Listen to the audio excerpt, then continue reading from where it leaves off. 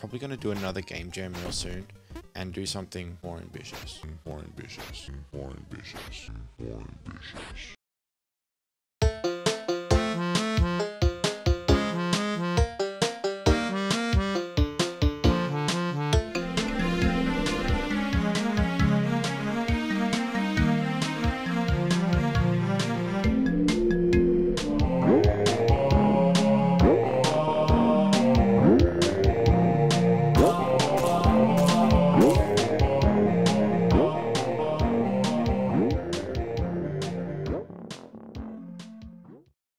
So what is this? This was a game I made for the Mix and Game Jam, hosted by YouTube legend Mix and Jam. It was a 48 hour jam with the theme of mixing genres. The general idea was to take two game genres and, well, mix and jam them together. Though I took the theme and went a different way. I instead fiddled with mixing music genres as a game mechanic and in the spirit of the Mix and Jam channel of recreating cool game mechanics, I took the music mixing mechanic from Banjo Kazooie as inspiration.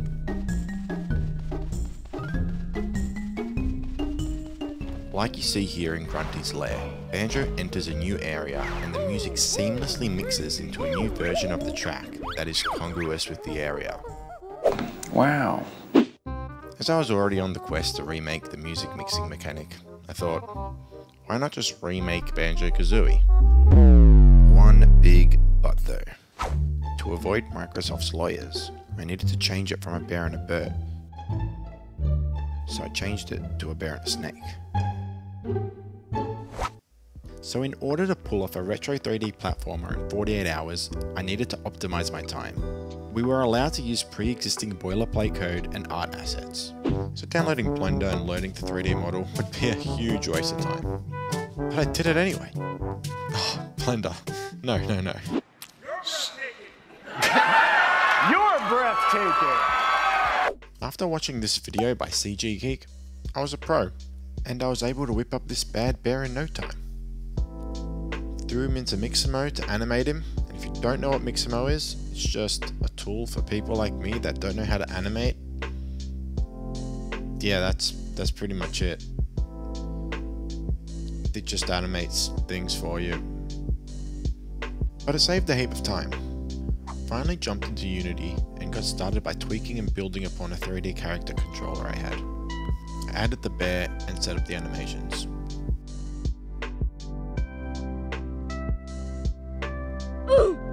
Then added a cube for a backpack, and then implemented a grappling hook, which was going to act as the snake.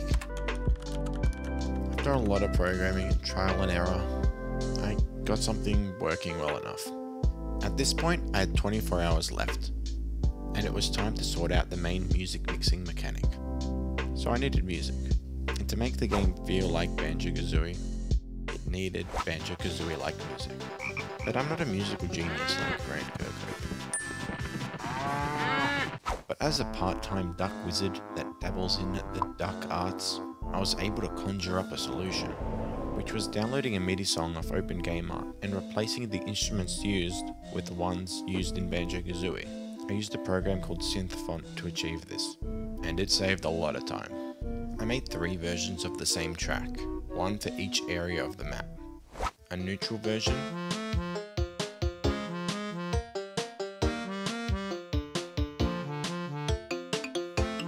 version.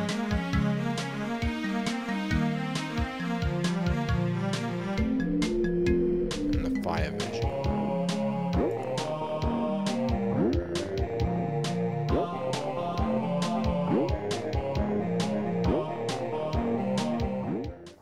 I then scripted the music mixing mechanic. My solution was to play all three tracks at once, and setting up trigger walls when walked over would send a track name to smoothly fade to.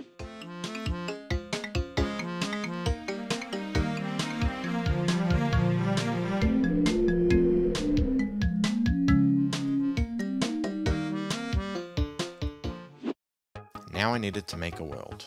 I heard ProBuilder and Polybrush were good tools to make quick level designs. Which after learning how to use them, I definitely think they are, just my mountain looked like a colossal turd. Before addressing this, I started making a quick dialogue system. It was then I remembered I had a low poly asset pack, which I ended up using to make the world. I still used Polybrush to edit and paint some of the models though. I made the world feel more Banjo-Kazooie-like just by adding eyes onto things. Added a roll and a roll jump for more interesting platforming. Made an event-based collectible system and populated the world with bananas and swords. Hey, video games don't have to make sense. Then finished off with a title and end screen. I submitted with no time to spare and without testing. Thankfully, it was beatable. And that's how I made an incredibly scuffed version of Banjo-Kazooie in 48 hours. There is so much to improve upon, but for 48 hours, I'm proud of it, and that's all that matters. Since making this, I've been inspired by a few things. One being the devlogs made by YouTuber Robert Thompson on a 3D platformer he's working on. You should definitely check it out. Another game that inspired me was A Hat in Time, after completing it recently, over at twitch.tv forward slash Duxxedo. So possibly in the future I'll tighten and polish things up, and hopefully make something truly great. Maybe not a full game. Settle down Microsoft lawyers. Maybe just a set of maps to speedrun. Let me know if you have any ideas in the comments. If you want to play this game, you can over at itch.io, link in the description, but I recommend downloading it, as the polybrush shaders don't work on OpenGL, for some reason consider subscribing. Follow my Twitch. Alright, I'll see you next time.